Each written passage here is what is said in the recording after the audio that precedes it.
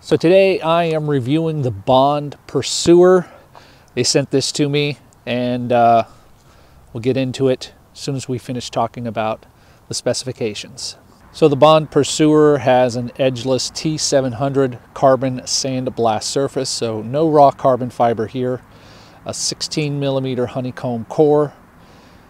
It weighs 7.8 to 8.3 ounces. Mine came in at about 8.1 ounces.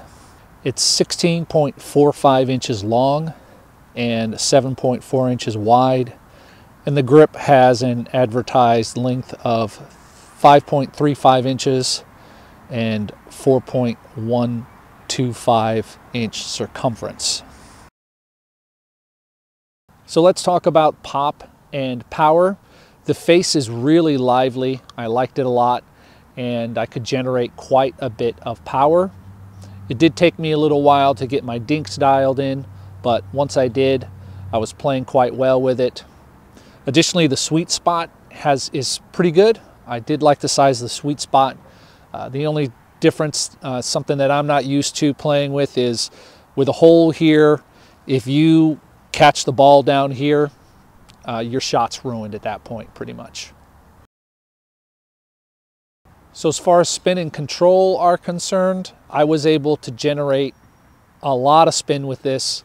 Um, I don't do any kind of spin measurements or twist weight or anything like that, but I could really tell that some of the balls that I was hitting uh, were really curving the way I wanted them to curve after a serve especially.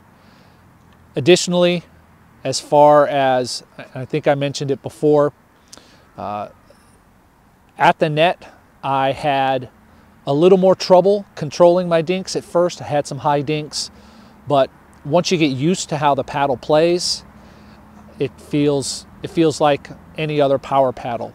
I will say like this this core does not give. I'm squeezing it right now and there's almost no give in it. And so so you're really going to have to be uh, get used to uh, dinking with this thing. If you're not used to a a paddle that has less control, this is going to be tough for you to get dialed in. So at 8.1 ounces, this paddle is about half an ounce lighter than my Vatic Pro that I play with pretty regularly. Uh, keeping in mind that I've put two overgrips on my Vatic Pro and I played with this without an overgrip on it at all. It feels light and fast in my hand.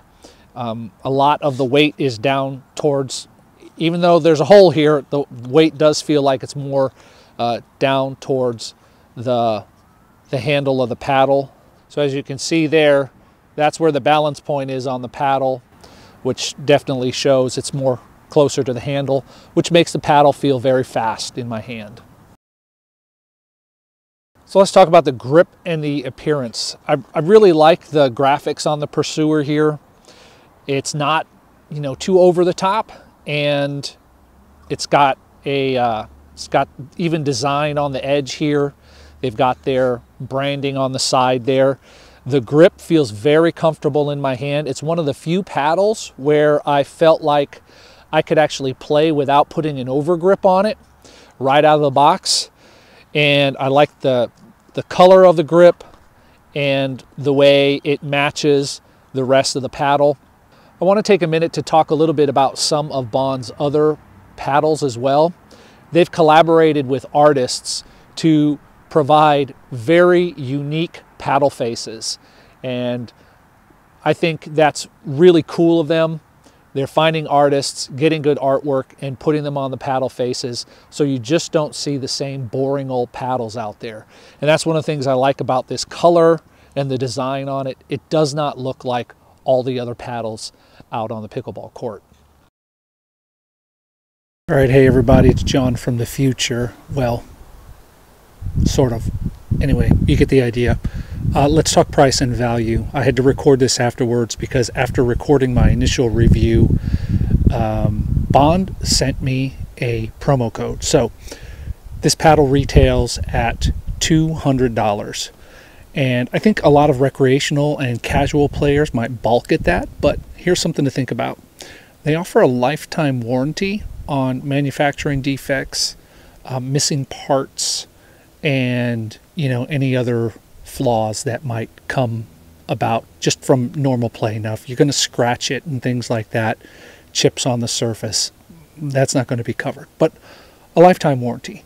And I think that shows that they stand behind their product and they think that they have a really good product. So, Bond has given me a code, John40, all caps, and you'll get 40% off of this paddle, which makes it $120, which I think is an excellent value. They also offer free shipping, so I think all around you're getting a good offer on the paddle and you're getting free shipping. They're going to stand behind their product with a lifetime warranty.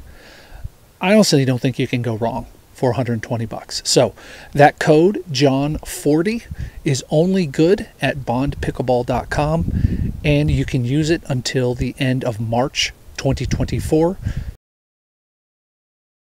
Okay, so who is this paddle for? I definitely don't think this is for the beginner pickleball player unless they're coming from some other racket sport because without having that finesse and that control of the paddle, you're just going to be frustrated with constantly dinking the ball high and hitting the ball out. I think if you're an intermediate to advanced player, so 3-5 to 5-0, this paddle will be great for you if you're looking for something that has a lively face and has that put away power. So I think Bond's approach to engaging artists is a great way to bring some really cool designs to the face of a pickleball paddle.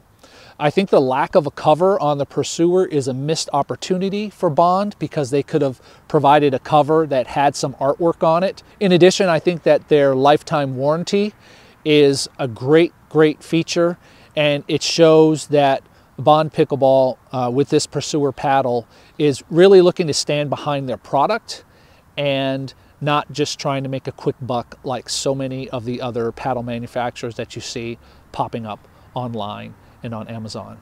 I want to thank Bond for sending me this paddle to review. I've really enjoyed playing with it and I look forward to playing with it some more and bringing you a long-term review of this paddle to see how, how it holds up over time. Thanks for watching. Give this video a like if you like this kind of content and don't forget to subscribe so you don't miss my next review. And until next time, keep dinking.